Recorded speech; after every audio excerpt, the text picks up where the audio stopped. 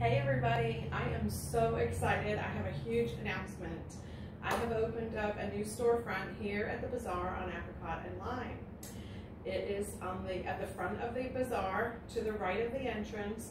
It's a storefront with its own window, as you can see, and front door, and mannequins in the window and everything. It has two entrances, either from the street or from the inside of the bazaar.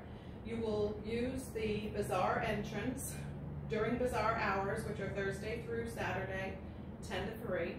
When the bazaar is closed, I'll be announcing extended hours and you will use my storefront entrance at the front of the shop. So, soft opening is tomorrow. I'll be here from 10 till 3 and then Thursday, Friday, and Saturday. And then starting next week, I'll have extended hours.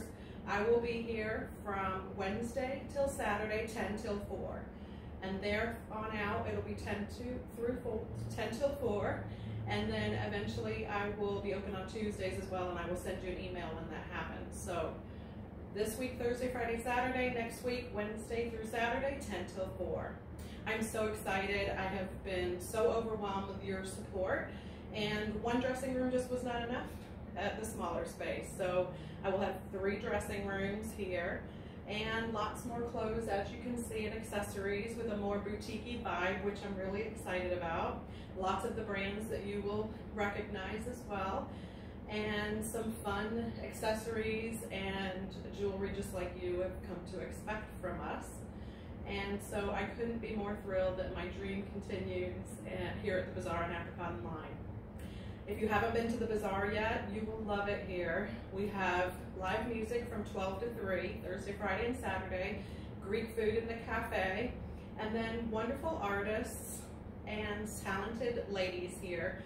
We have an interior decorator, we have upholsterers, we have furniture painters, and so they sell the goods they've made and lots of classes are available. If you want to learn how to refinish furniture, if you want to learn how to reupholster, and if you want to do an acrylic pour class, you will find all that here and more.